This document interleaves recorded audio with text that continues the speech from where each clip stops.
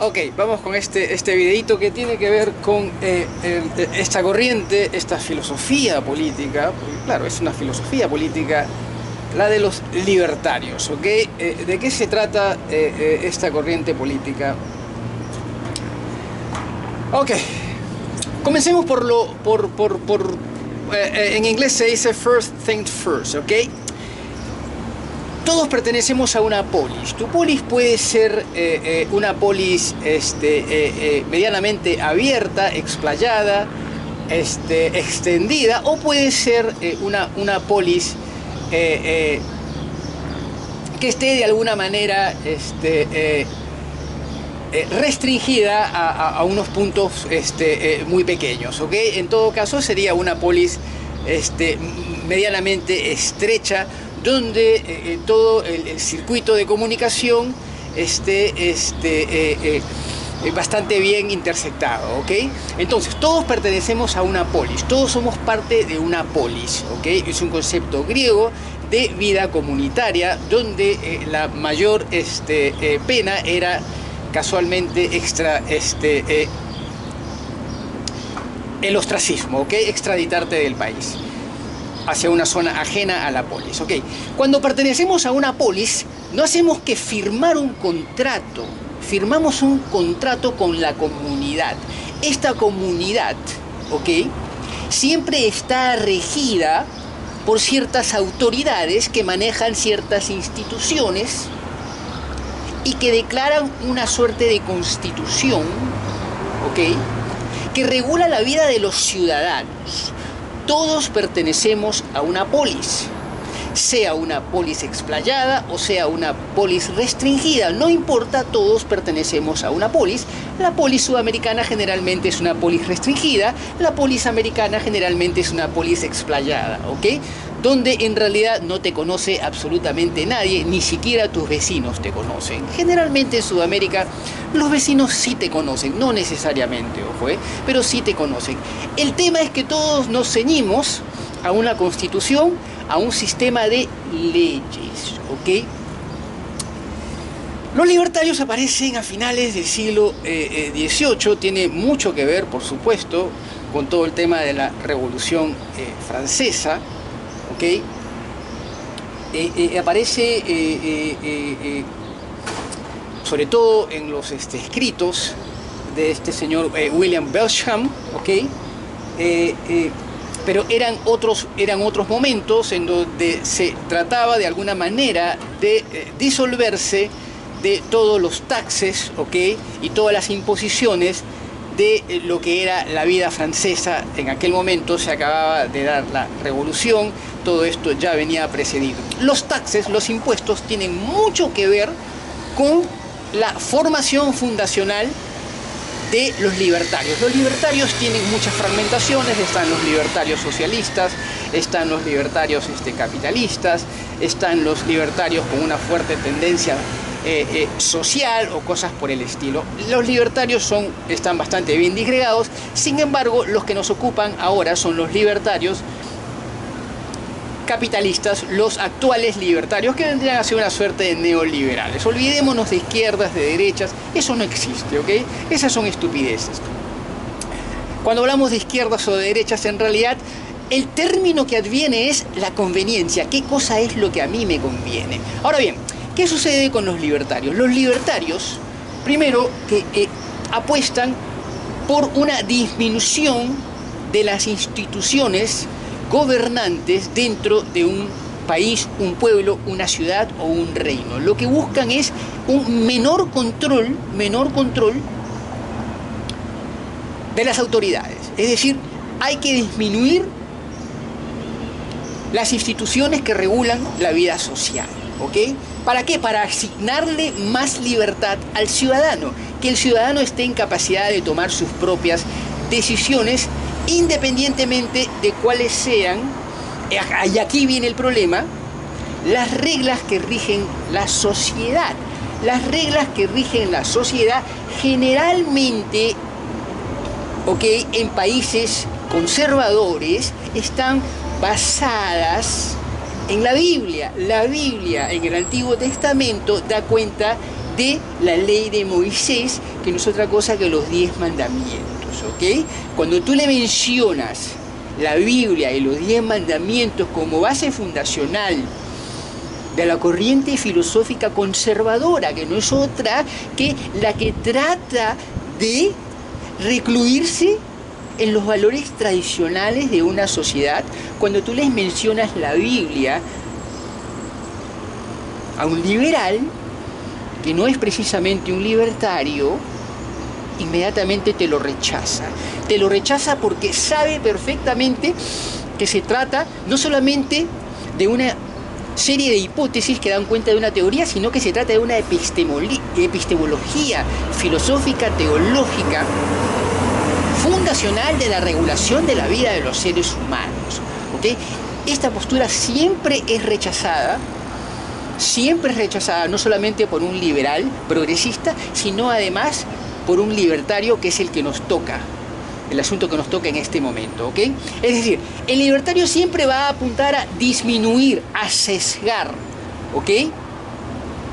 De alguna manera a remover las instituciones que considera que no fueran necesarias para la gobernación de un pueblo, de un país, de una ciudad, de un reino, ¿ok? Los reinos son importantes. Entonces, el libertario el libertario estaría, estaría de alguna manera desautorizando, ¿ok? La constitución de una polis. La polis está basada, ¿ok? En instituciones que además tienen una constitución. Si yo pretendo desconocer la constitución, a partir de ese momento yo me transformo en un transgresor. Ahora bien, ¿cuál es el problema? Yo se los he manifestado en varios videos que yo soy monárquico, republicano, porque creo en la democracia, pero con fuertes, fuertes tendencias libertarias. Mis fuertes tendencias libertarias obviamente tienen que ver con el aspecto de que hay que darle al ser humano, se le tiene que asignar la capacidad de tomar sus propias decisiones con respecto a los fenómenos que acontecen en la comunidad. Si a ti se te restringe esa capacidad, pues inmediatamente tú tienes que alzar la voz. Yo estoy de acuerdo en que hay que disminuir ciertos organismos del Estado que no caminan. Todo lo que no camina tiene que ser disuelto. Ahora bien, vamos punto por punto. Vamos al tema de la educación. En términos de la educación, yo estoy medianamente de acuerdo con los libertarios porque el libertario acusa lo siguiente, acusa que uno tiene que elegir la educación que sea más conveniente para sus hijos, independientemente de cuáles sean las regulaciones implementadas por el gobierno de turno. Es un tema picante, ¿ok? Pero en realidad los padres de familia pueden tomar esa decisión. ¿Por qué? Porque ven cuál es el futuro y dentro del futuro eligen lo mejor para sus hijos. Si el país donde vivieran no se lo pudiera dar, entonces tendrían que emigrar al exterior. Pero esa es una decisión de los padres. El libertario apuesta a que la educación es una elección personal. Yo estoy de acuerdo en ese aspecto, por eso tengo fuertes tendencias libertarias, porque estoy de acuerdo, estoy plenamente de acuerdo. Un conservador te va a decir que el gobierno te está facilitando la estructura educacional suficiente como para que tú puedas implementarla y acoplarla a tu vida para salir adelante y enfrentar todos los retos de la vida. Y está bien, está bien, porque eso mantiene de alguna manera el status quo. ¿Ok? Pero el libertario te va a decir, no, un momentito, ah, es que eso a mí no me conviene, porque lo que yo busco es diferente que es un poco lo que pasó en mi vida cuando era jovencito. Yo buscaba algo diferente, una educación diferente. Yo buscaba un mundo diferente, siendo muy jovencito, ya a, los, finales del 83 había emigrado del país. Entonces, yo estoy de acuerdo con estos, estos, estos, estos, estos estatutos de la corriente libertaria. ¿ok? Por eso tengo fuertes tendencias libertarias. Sin embargo, tengo ciertas restricciones. ¿ok? Por el tema de la polis.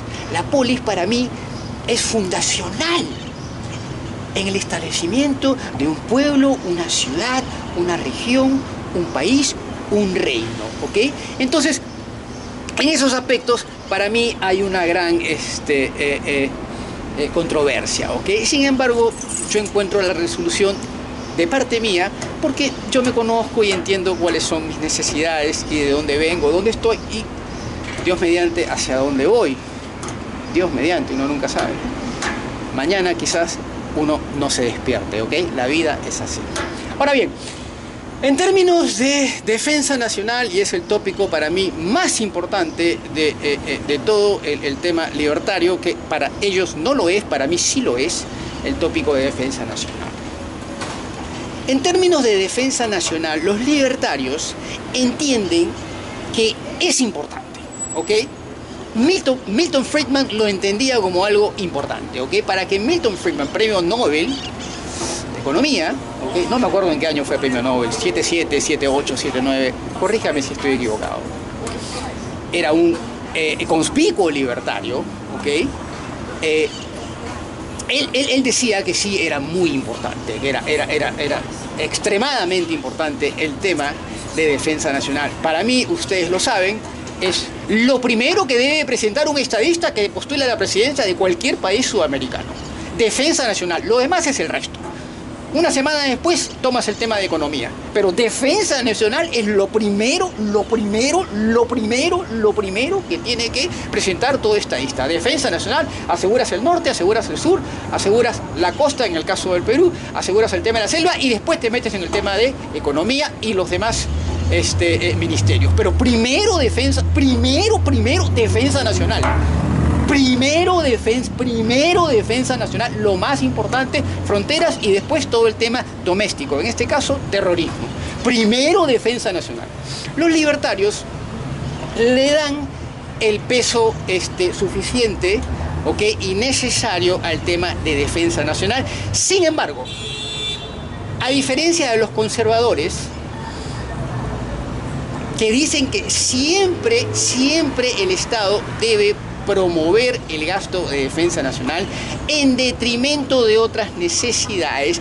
El libertario dice, un momentito, sí, defensa nacional es importante, pero, pero si yo tuviera una necesidad inmediata que tiene que ver con mis necesidades cruciales, entonces yo prefiero que primero se me atienda a mí. No nos olvidemos, el concepto y el criterio libertario pasa por el respeto irrestricto a los derechos del prójimo. Es decir, yo respeto a la comunidad, yo hago lo que a mí me da la gana en la medida en que yo no transgreda los derechos del prójimo en la medida en que yo no transgreda los derechos del prójimo. Yo soy libre, soy libre en la medida en que yo no lastime, no menoscabe, no socave los derechos de mi vecino, del prójimo, del otro ciudadano de a pie. En términos de defensa nacional, el libertario dice, si el gasto en defensa nacional está transgrediendo las necesidades que yo tengo, entonces hasta ahí llegaste, no gastes más. No gastes más. Sin embargo, habría, habría, habría un punto de encuentro entre conservadores y libertarios, ¿ok? No menciono a los socialistas en este aspecto porque el socialismo eh, no es otra cosa que control, ¿ok? Control, control. El socialismo apunta a controlar al ciudadano. Yo controlo tu vida, y escuchen lo que voy a decir, de esto se trata el socialismo, más que todo el socialismo que deriva en comunismo, yo controlo tu vida en la medida en que más adelante, de, a partir de este control, yo pueda hacer una vida próspera para mí y para mi familia. Eso es el comunismo. ¿okay? El comunismo no es todo lo que ustedes han escuchado.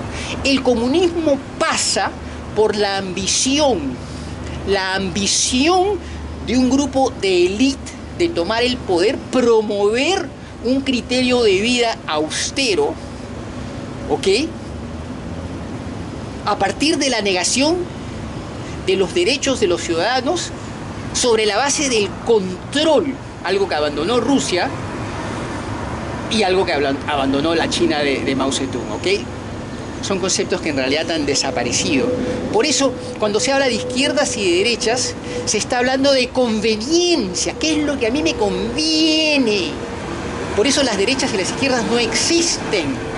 No existen y uno de los que liquidó eh, el tema de las izquierdas es este diputado español, Pablo Iglesias, al comprarse esa inmensa, inmensa casa, una mansión, un chalet enorme en la zona de eh, Galapaguer, Galapaguer, eh, ahí el, al noreste, corréjame si estoy equivocado, equivocado noreste, noroeste de, de Madrid, una cosa espectacular que hasta cuando caminabas por esa casa el piso tenía calefacción, una locura, finalmente terminó siendo derrocado.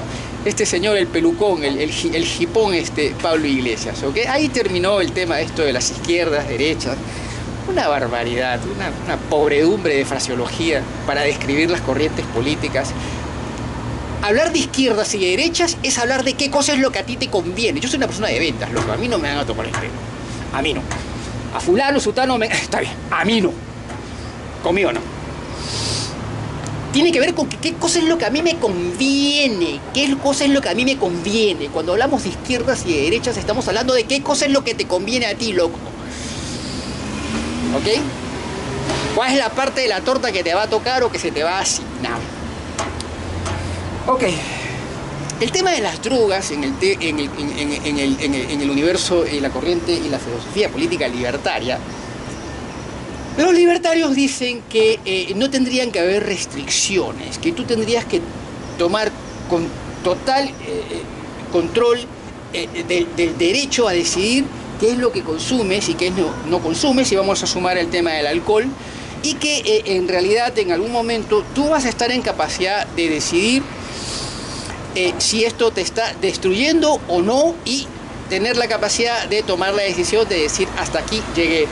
La ciencia demuestra lo contrario en realidad. La gente que, se mete en el mundo del alcohol, de las drogas, terminan siendo destruidos cuando finalmente pasan este point of no return, este, este, este, este punto de, quiebre, ¿no? De, de, donde ya no pueden regresar. ¿okay? Aquí en South Beach hay, más o menos este, unos 65, 70, 80 mendigos, ¿ok? Que han caído profundamente en el tema de las drogas este, eh, eh, y el alcohol y en realidad esta gente, estos son los verdaderos libertarios, ¿ok? Esta gente lo único que busca es la libertad, quieren ser libres.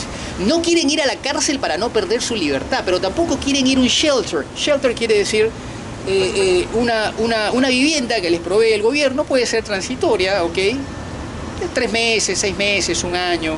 Después lo trasladan a otras viviendas, a veces mejores, a veces más precarias, no importa. Este país tiene, tiene, tiene esa capacidad, ¿ok?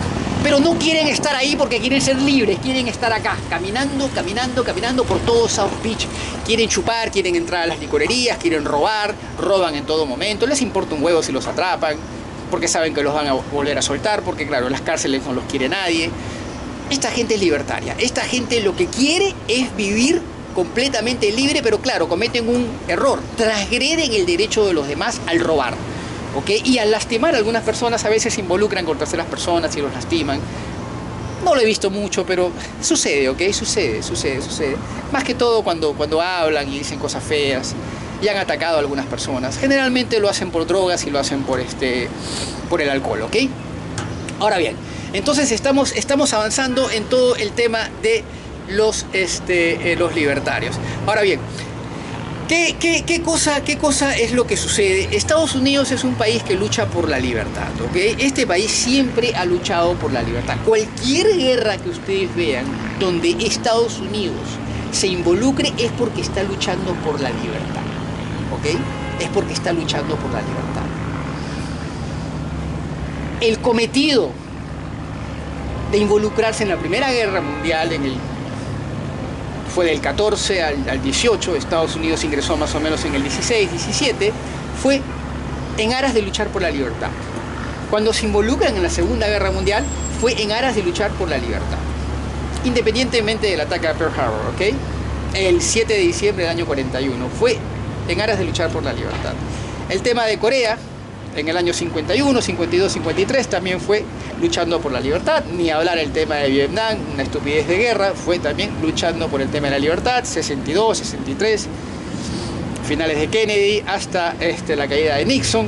Ni hablar lo que hemos vivido de la tormenta del desierto, la guerra de los Balcanes de Clinton y Naciones Unidas y todo lo que hemos visto después de las torres, Afganistán y lo que fue la Guerra Fría, lo que es esta nueva Guerra Fría con la China, con, la, con, eh, con Rusia, la, parte de la ex Unión Soviética, con Irán, todo lo que está aconteciendo eh, en, el, en, el, en el Middle East, con Israel, en fin.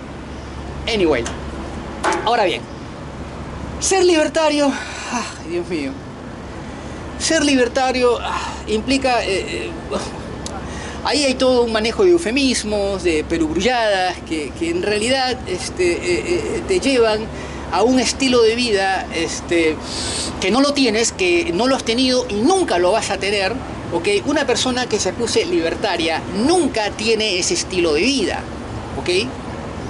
Ese es el problema de muchos, este, eh, de todos los excomunistas, comunistas, y, este, y socialistas y cosas por el estilo. En realidad, el único gobierno, el único, la única corriente que más o menos ha tenido éxito, ¿okay? independientemente del capitalismo americano, han sido, ha sido este, este socialismo este, europeo eh, en reinos como el reino de, Suecia, como el reino de Noruega, como el reino de Bélgica, ¿okay? este, en, en repúblicas como la República Francesa, como el Commonwealth eh, canadiense, ¿okay? este, eh, el socialismo ha tenido éxito. Cuando hablamos de socialismo estamos hablando eh, de una distribución de la riqueza fundamentalmente en términos de educación y salud, ¿ok? que es lo más importante cuando hablamos este, de la forma de gobierno de estos países. ¿ok? Estados Unidos es un país este, capitalista al mango, al mango, ¿ok? Que en realidad tiene una visión muy conservadora, muy, muy conservadora, independientemente del Partido Republicano, Estados Unidos es un, es un país fortísimamente conservador, ¿ok? Por eso tiene el Bible Belt, este, eh, ahí en, entre, entre Luisiana, entre, entre, entre Alabama, entre Georgia, subiendo un poquito por Tennessee, Kentucky, donde eh, el tema de, ser evangélico es, es, fundacional. Lamentablemente esto ha traído el surgimiento de los Patriots, del Tea Party, eh, toda esta gente que apoya incondicionalmente a Donald Trump, que va a ser candidato, me parece, para el 2024, ¿ok? Anyway. Entonces, los libertarios, los libertarios en realidad eh, yo teniendo fuertes tendencias libertarias, yo pienso que la corriente, eh, la filosofía este, política libertaria,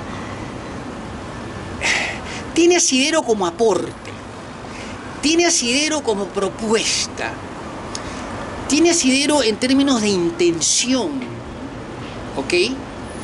Tiene asidero eh, eh, en términos de de promover una vida eh, eh, mucho más llevadera, el, término, el tema del matrimonio, por supuesto, apuestan eh, al matrimonio igualitario, este, lo que yo no estoy de acuerdo, yo estoy de acuerdo en la unión libre, pero no en el matrimonio igualitario, porque no, no fue este, dictado por la, en la ley de, Moisés y Jesús tampoco lo convalidó, ¿ok? Este, de modo que no puedo estar de acuerdo, porque creo en la Biblia.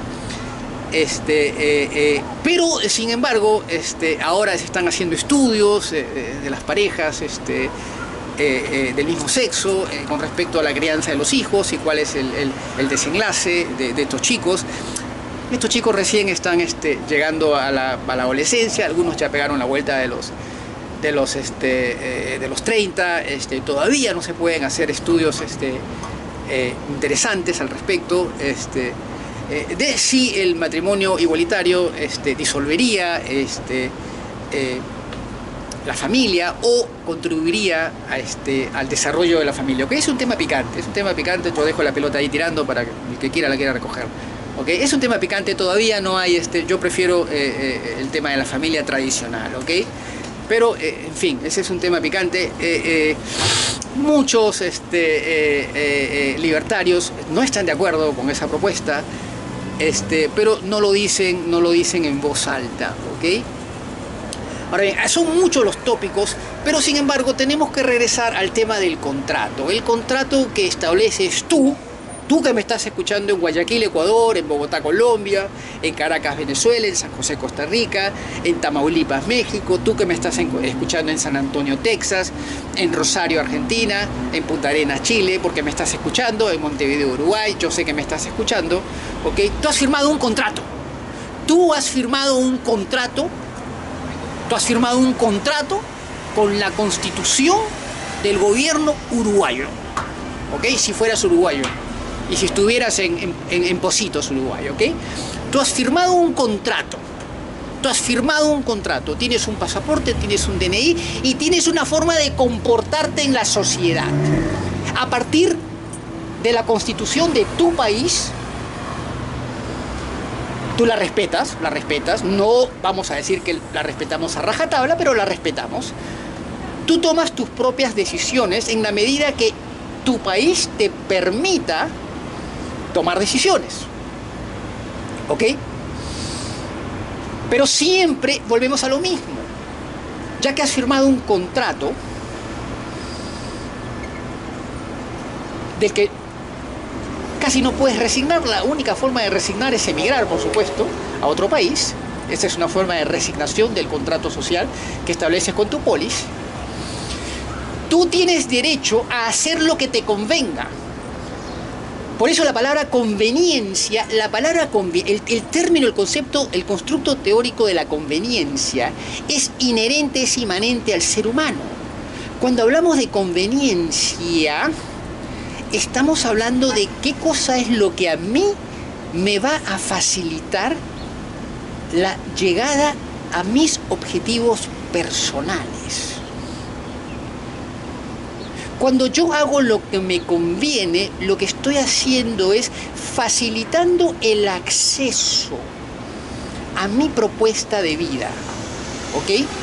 Entonces, la corriente libertaria tiene un serio problema cuando enfrenta la constitución. ¿Por qué? Porque si la, la plataforma que establece el criterio con el que yo veo el mundo pasa por el respeto irrestricto al derecho de los demás. ¿Qué hace un libertario cuando no está de acuerdo con las decisiones que toma una tercera persona? Es ahí donde el libertario da cuenta de su conducta. La conducta es la expresión social de tu Dasein como ser humano en una comunidad. Cuando tú, cuando tú renuncias a los principios que tú promueves dentro de la comunidad, tú dejas de ser libertario. El libertarismo en realidad no ha tenido el éxito que ha buscado y por eso se ha quedado solamente como corriente como filosofía política, porque no tendría asidero, asidero en una verdadera formación de un pueblo, de una ciudad, de una nación o de un reino, menos en un reino donde el rey es el dueño o la reina es el dueño de todo. Sea, eso es imposible. Ahí hay una enorme contradicción, enorme contradicción del libertario. El libertario, ¿ok? Tiene que entender que el manejo, el manejo de una comunidad necesita de manera perentoria, perentoria, el establecimiento de leyes que permitan que un pueblo una ciudad pueda conducirse de manera regular, porque el día que yo quite el semáforo, de la esquina de tu casa, a la semana se mataron 15 personas. Entonces, tienen que haber regulaciones dentro de una comunidad a las que en realidad el libertario se opone porque dice, yo tengo el derecho de vivir mi propia vida en la medida que no transgreda la vida de terceras personas. Pero ¿qué pasa si te pasas la luz roja y atropellas a una tercera persona, le quitas la vida y esgrimes que tú eres libertario y que te pasaste la luz roja porque tú tenías necesidad urgente, la necesidad de llegar a una determinada oficina porque si no ibas a llegar tarde y ya no ibas a poder. Entonces, entonces ahí hay una contradicción. Hay que respetar las leyes que rigen una ciudad, un país, un reino, para poder vivir todos en paz. El libertario ahí encuentra grandes dificultades. Porque no puede, dice, ¿y ahora qué hago? ¿Y ahora qué hago? ¿Y ahora qué hago? ¿Y ahora qué hago? Entonces, es por eso que en realidad el libertarismo camina más en Estados Unidos que en países de, eh, eh, sudamericanos, ¿ok? Porque acá en realidad si tú sí tienes muchas posibilidades para elegir, tú acá tienes posibilidades para elegir, ¿ok? Tú puedes ejercer tu vida libertaria en Estados Unidos. En Sudamérica es muy difícil. ¿Cómo vives? ¿Cómo? Vamos, vamos, a, vamos a pensar que Javier Milei llegara a la presidencia argentina. ¿Cómo le gobierna el 51% de peronistas? Que todo lo que esperan es que el gobierno les dé de comer.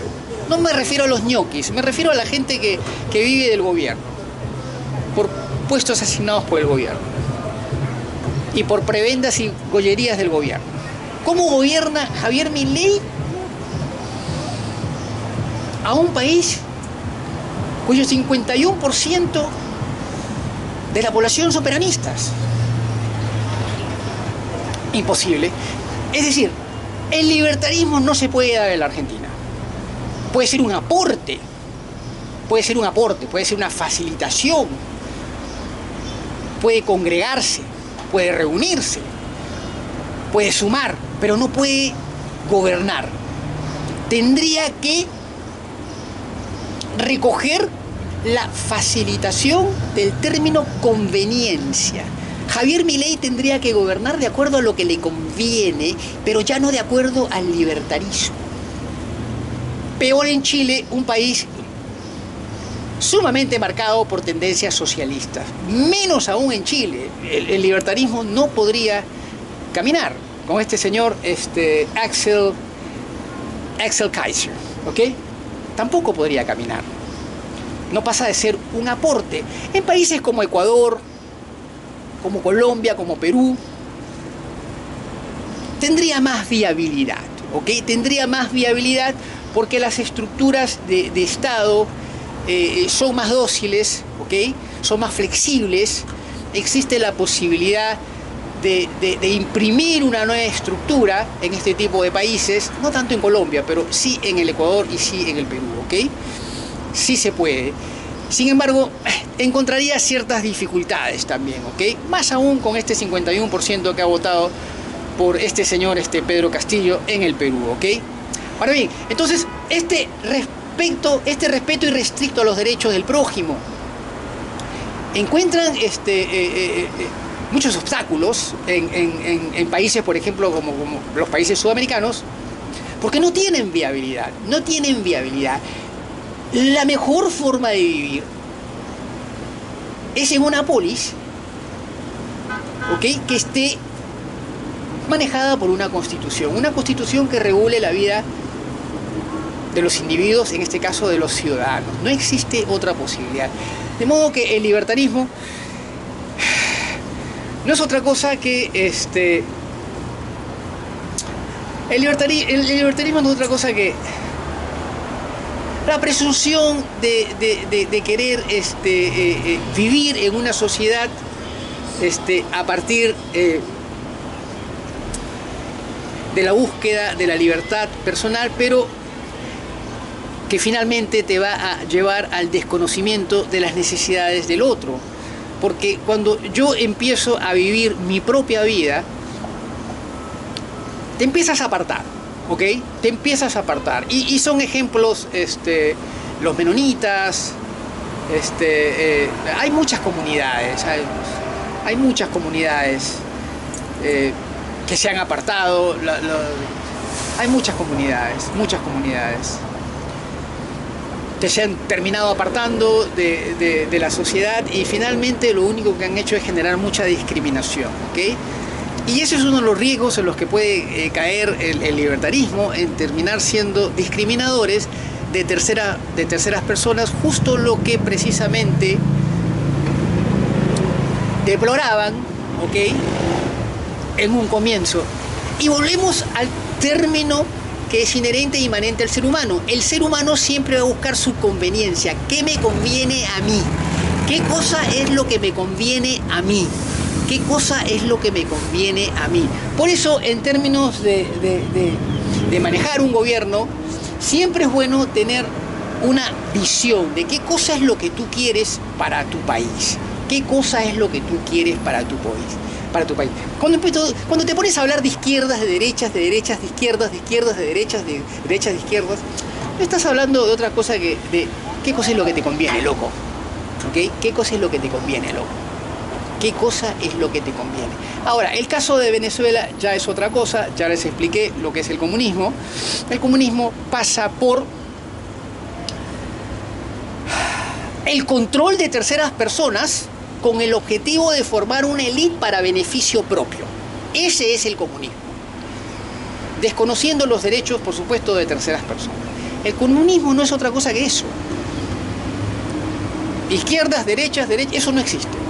Eso es un verdadero pancomierda que no existe. Y si no, pregúntenle a Pablo Iglesias, ahí diputado de Podemos, en España, y la casa que se construyó ahí en un barrio, Calapaguer, al noreste de, de Madrid, pregúntenselo ustedes, y él se los va a responder, él les va a responder lo que es ser de izquierdas.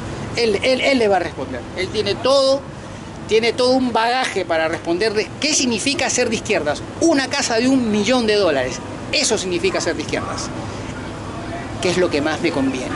¿Qué es lo que más me conviene? El libertarismo no tiene, va, no sé, yo tengo fuertes tendencias libertarias, pero tienen que ver con, mi espíritu de vida, con, mi creatividad, con...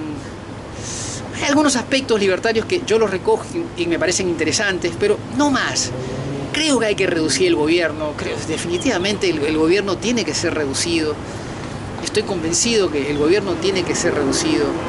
No puede haber tanto control con respecto al tema de las drogas, de la familia, este, eh, estoy de acuerdo también, estoy de acuerdo con los libertarios en que eh, la familia no puede estar este, eh, fundamentada a partir de la religión este, católica. Creo que tiene que haber este, aceptación de la, religión musulmana, budista, mormones, y hasta las sectas religiosas. Se tienen que aceptar, loco, porque es decisión de la gente. En ese aspecto yo eh, tengo esas fuertes tendencias libertarias de aceptación. No puede ser que la familia, la familia eh, eh, sudamericana esté solamente signada a partir de la religión católica, ¿no? No me parece correcto. Este, menos aún de un católico que no conoce la Biblia, ¿no? En, Sudamérica el, católico tradicional este, no tiene idea de lo que es el Antiguo Testamento, el, Antiguo Testamento o el Nuevo Testamento, pero no tiene la menor idea. En, Sudamérica quizás el, 0.5 ha leído el Quijote, eh, eh, Don Quijote de la, Mancha, perdón, se le dice el Quijote, pero Don Quijote de la Mancha es el libro de Miguel de Cervantes, pero todo el mundo habla del libro y nadie lo ha leído. Es un libro de este tamaño, por si acaso, que nadie lo ha leído, pero todo el mundo habla. Lo mismo pasa con el tema de la religión católica. Eh, todo el mundo habla de Dios y nadie conoce la palabra de Dios. La palabra de Dios está en la Biblia, loco. Este, y siempre volvemos a lo mismo. ¿Qué cosa es lo que más me conviene? ¿Qué cosa es lo que más me conviene? Y en términos de conveniencia, yo no pienso que un gobierno libertario, a rajatabla, y esgrimido a pie juntillas desde el Palacio de Gobierno, sea lo que le convenga este, a una nación. Yo, yo pienso que no le, no, le va a convenir. Siempre eh, una nación tiene que estar cimentada bajo la estructura de una polis. Siempre debe estar cimentada bajo la estructura de una polis. Yo soy Miguel desde South Beach, Florida. Ya regreso con otro video. Adiós, chau.